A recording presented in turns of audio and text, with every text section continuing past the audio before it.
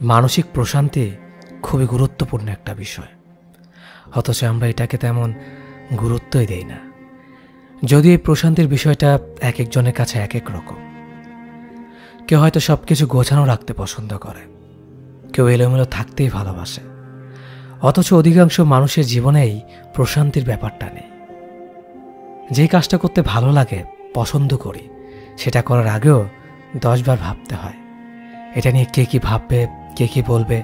যেখানে উচিত ছিল যেটা করতে ভালো লাগে, সেটাই করা। অন্যের ভাবনার চেয়ে নিজেকে ভালো রাখাটাই মুখ্য বিষয় হওয়া উচিত ছিল। তাই বলে কোনো অনৈতিক বা খারাপ কাজ করার কথা বলছি না। সবাইকে ভালো রাখার চেষ্টায় আমরা নিজেদের ভালো রাখতে ভুলে যাই। যে জিনিস আমাদের নিয়ন্ত্রণে নেই, সেটা নিয়েও আক্ষেপ করি।